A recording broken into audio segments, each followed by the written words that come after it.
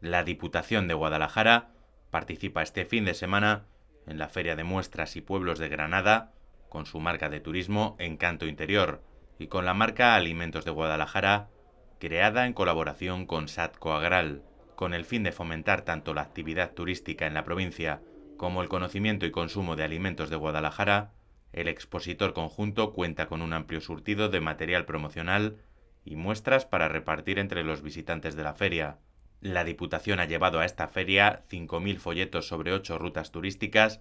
que abarcan todas las comarcas de la provincia de Guadalajara. En lo que se refiere a la marca de alimentos de Guadalajara, el material promocional para distribuir en esta feria incluye 500 folletos, 880 muestras en total entre miel y aceite de oliva virgen extra y 100 delantales.